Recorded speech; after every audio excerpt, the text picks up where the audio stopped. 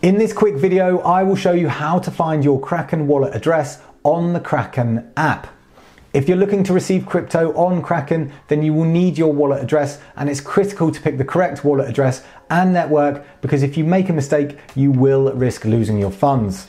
As always, nothing in this video is financial advice and I accept no liability for you losing or sending your crypto to the wrong address and if in doubt, send a small test amount of crypto first. So to find your wallet address on the Kraken app, press the action button with two arrows in the center from the bottom of the screen.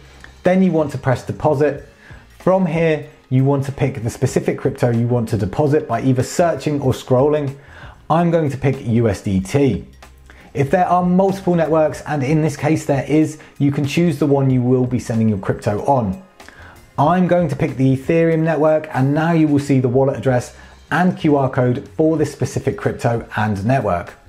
You can copy the address by pressing the button to the right of the address that looks like two sheets of paper, or you can scan the QR code at the top.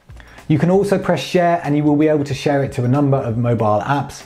It's always worth copying the address or scanning the QR code rather than typing it manually. Anyway, if you've got any value from this video, then please smash the like button and don't forget to subscribe as I upload new finance and crypto related content every week. And if you're just getting started with crypto, you may be wondering what's the difference between a coin and a token. So I recommend watching this video next.